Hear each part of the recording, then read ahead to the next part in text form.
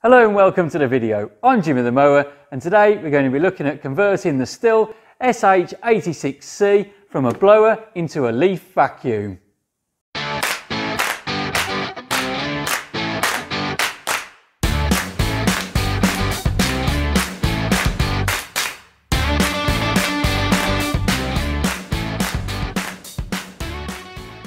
So I've had this uh, petrol blower for probably, I don't know, about four or five months, used it all through the season. When we've been cutting grass, we're blowing clippings back off the pathways onto the lawns, make them all neat and tidy, and everywhere looks great.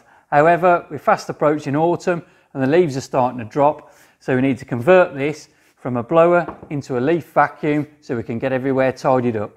Now, what you need for this is obviously the optional extra kit, which is the Stihl bag and the selection of pipes. We need the spark plug spanner and star key, which comes with it anyway, and the little screwdriver. I'm not sure if we need this, but I bought it anyway because it was in the pack when I purchased it. So, first of all, we've got our tube on there. We need to take this off so it's no longer a blower. We get our star key or Torx key and we push it into the top there. There's a small padlock on that little bit and that's where the lock is. So we push that down and we twist conventional way anti-clockwise and it undoes. Now, I don't know how easy this is to get out. It's been on there for, well, since the day we bought it. Right, that wasn't too bad. So that's that section off. We can put that out the way, I think. I did have a quick look through the instructions. There are some good sort of pictures in there and stuff, but there's nothing like watching somebody do it in real time. So we'll put those to one side. I might refer back to them if I get stuck.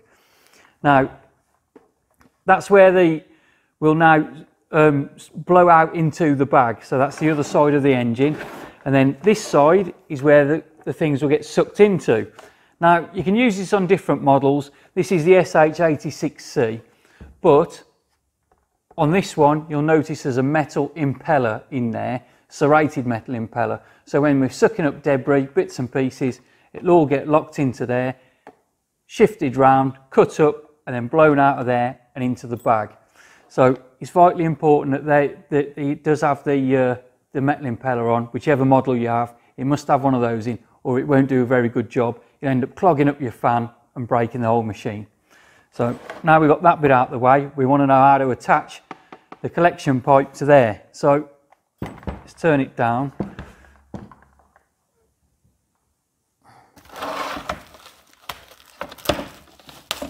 This is the collection pipe itself. Got a wider end on the bottom, that sits on the floor like that. So you can go along and vacuum up. This is the end that fits on to the machine itself and draws everything through. And we've got a handy carrying strap for the bag. Put this rubbish out the way. Now to open this, I think we put the screwdriver down there and press in.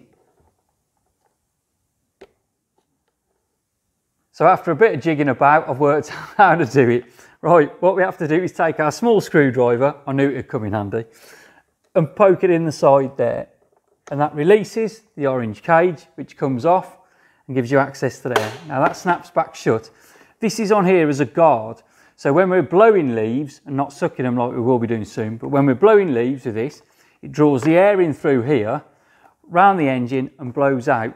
Now this guard stops any sort of bits and pieces and debris going through and getting blown out or things getting tangled up. So that's why it's in place. We'll put the screwdriver back in, press, I hope, he says, yeah, and away it goes. So that's that open. Now we've opened that, and then we need the first piece to slot in. Now there's some arrows on here and I'm thinking that we line the arrows up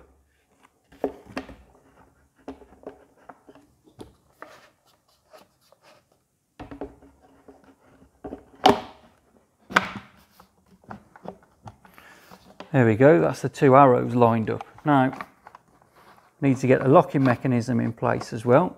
So turn round. It's not a great angle for viewing, is it? So we'll turn this round, slot on, turn round and it should lock in, although it's not going very well. I don't think I've pushed it in far enough. Let's do that again. Remember, make sure you push it in as far as it can go. That's it. Mine wasn't in quite far enough. Now we can turn it round and we hear the click and the locking ring works. That's it.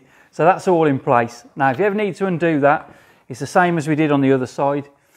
Use the Torx key, you push down on the tab and it'll release it. So that's the first bit on. Then secondly, we need the collection end. And there are three tabs on there and they slot in to here. I think these will take some moving around as well. It's not easy. There's two arrows on the back. They line up there and there if you can see them. And you push that down a little bit more. And that's it, a good positive lock on there. That's what we like to hear. So that's all in there and that won't move anywhere. That's safe and steady. Now there's the smallest pipe on the side.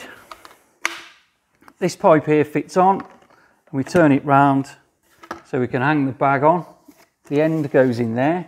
So we've got the bag fitted securely. It will suck up through there, round, blow out, through here and into the bag. And hopefully mulched up and collected and we've got a nice tidy job. Now we just need to fix this on. Again, there's some arrows on here. There's an arrow there on this bit and an arrow on the top of the machine. So pull the collar down out of the way so we can see what we're doing. That's that. There's even a guide there for the lock. And that's just snapped in place. It's a bit quiet, but it's snapped in place.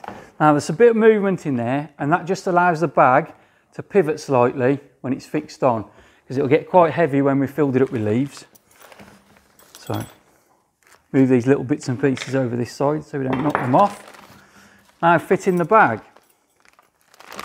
It's got a normal little locking tab on the top to move it through. And we open that up.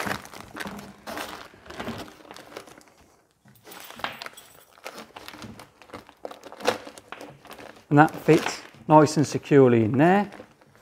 Once it's in, can tighten that up as tight as we can. It's self-locking, so when you tighten it up, it's all locked in place. Now that there, it won't move and it'll stay exactly where you want it to be. However, we've still got a little bit of flex in there, so when it's getting heavy or you're moving around, it can move with you.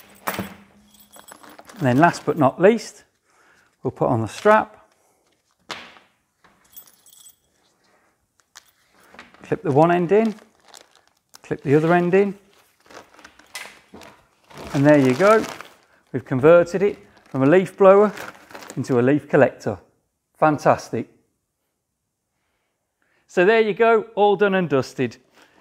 Double handles, bag fitted, we're ready to go and collect some leaves. Easy as pie. I hope you enjoyed that video, the short tutorial on how to turn the blower into a leaf collector.